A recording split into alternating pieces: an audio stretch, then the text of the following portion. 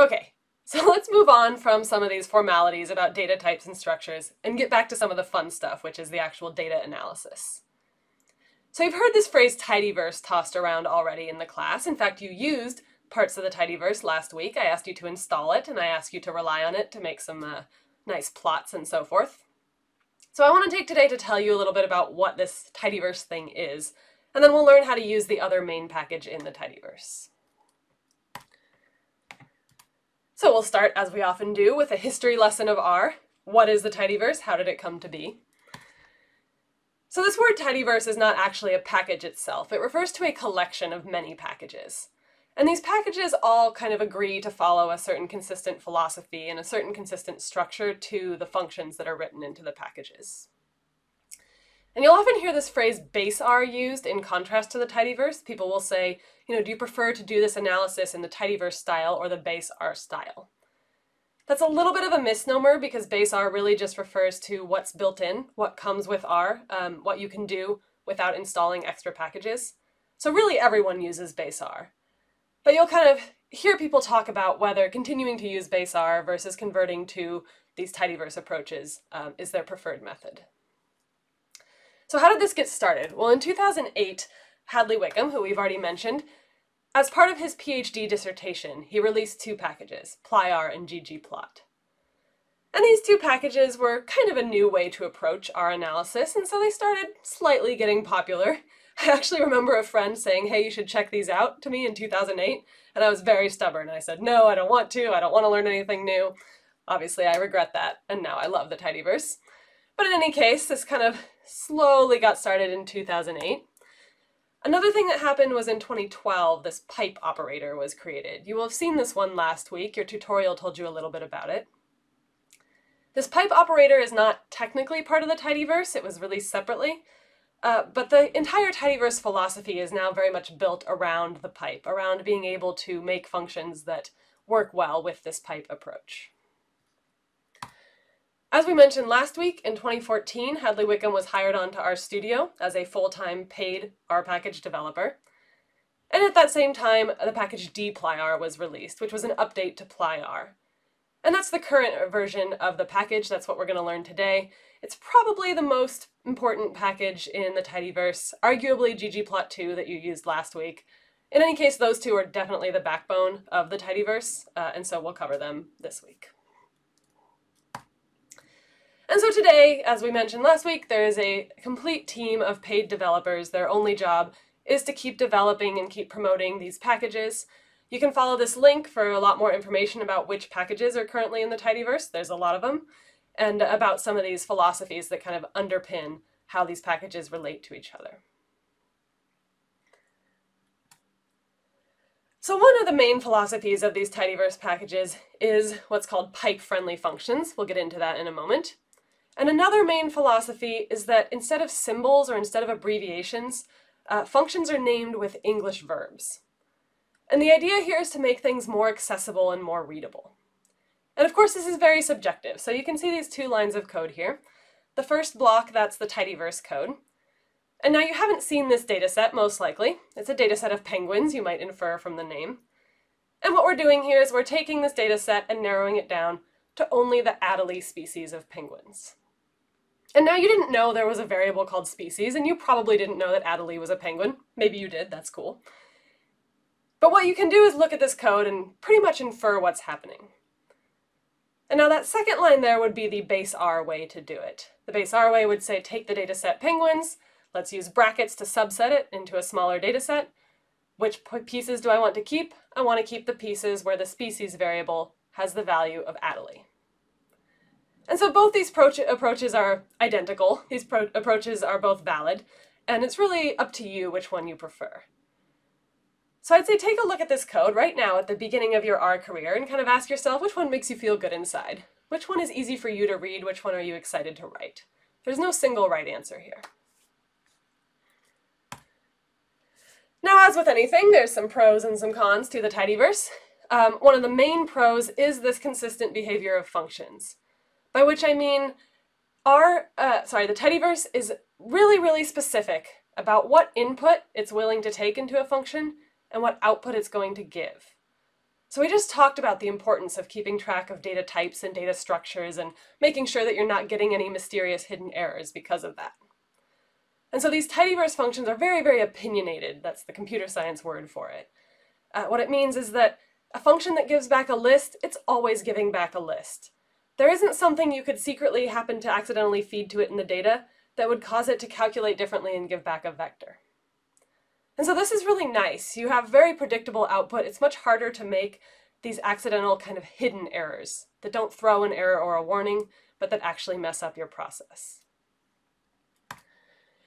Another advantage is the fact that these developers are paid. And so you actually have people whose job it is to maintain packages.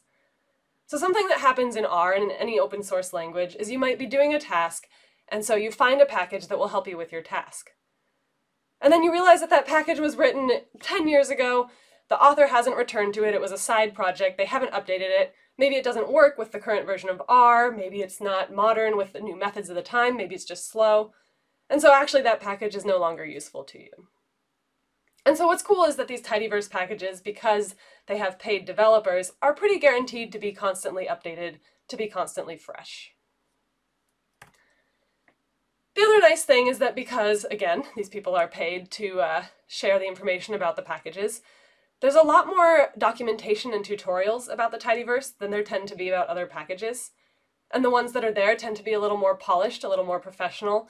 Um, the, the primers that you've already been working on are coming from RStudio and the tidyverse. And so this is nice. There's kind of this ecosystem of reliable, predictable packages that have documentation of how to use them. And another thing about the tidyverse, and uh, this is my personal opinion, I think the community around the tidyverse is just incredibly welcoming. It's incredibly diverse. There's a really, really good culture. Uh, it, a lot of this culture happens on Twitter, so if you haven't already checked out the RStats Twitter, that is a whole universe. Um, but every time that I interact with the people that are part of this tidyverse community, I feel that they are committed to diversity, they are committed to being welcoming, they are committed to equality, um, and they're just generally really welcoming to beginners. I've seen it happen many times where someone asks a very, very beginner question on Twitter, and someone like Hadley Wickham comes in and answers them. So I personally think that's really cool. That's a big part of my life right now. Um, it doesn't have to be part of yours, but I want you to be aware that uh, programming is not just about what you write on the computer screen. There's a community around it, there's a culture around it. Different languages and different subsets of languages have different communities, and you should be aware of that. Having said that, not everything is perfect, so here's some cons of the tidyverse. One of the drawbacks is that because these functions are so opinionated, they do a specific thing very well. And if you get into a situation where you're a little more advanced or you're trying to do something a little more complex or unusual or strange, it can sometimes be hard to find tidyverse tools that can do that very unusual task. So while I almost entirely program in the tidyverse these days myself, I'll often find myself running into strange niche problems every so often, and I revert back to base R just because that's the only way I can figure out to solve it. Now, there's nothing wrong with that, but you should be aware that some of this predictability comes with a trade-off in flexibility. It's also true that often tidyverse packages are a little slower. They're written for that readability and that convenience rather than for optimization. Um, this is becoming less and less true. It's become a priority of the developers recently to get faster. But it's still true that if you're working with really big data or if speed is a concern, you might need to turn to other tools. Another slightly frustrating, kind of good and bad thing, blessing in disguise of the tidyverse, is that it is updating frequently. Uh, the people on the tidyverse team are constantly thinking about how to rework these functions to make them even more convenient or even more clear. And so it's evolving very rapidly, and this can sometimes mean that your old code is unrunnable. You might use a function from the tidyverse, and then two years later, you haven't changed your code, it's the same function, but now it doesn't work, because they have changed the way that that function operates, the type of input it expects, and so on.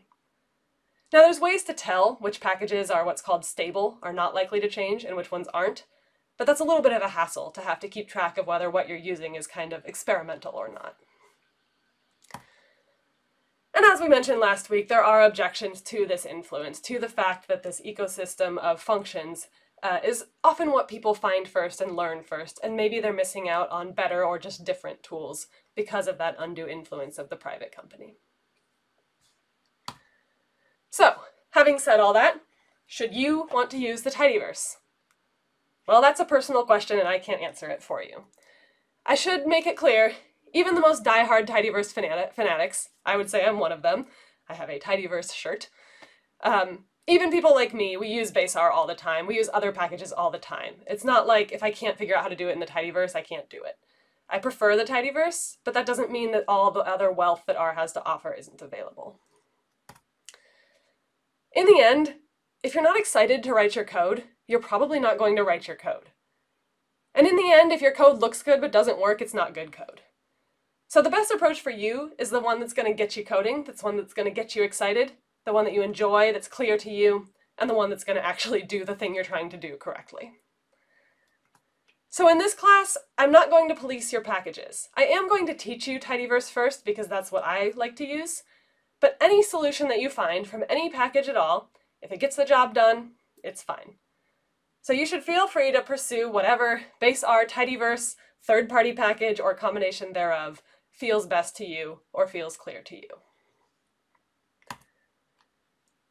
Having said that, as we walk through today, most of my lessons will be in the tidyverse, the exams and lab assignments and so forth are written to be solvable in the tidyverse if you choose to.